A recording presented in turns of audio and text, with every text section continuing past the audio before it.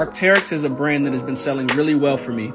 I bought this shirt, listed it on five marketplaces using Vendoo, and it sold within 24 hours. Which brands sell quickly for you?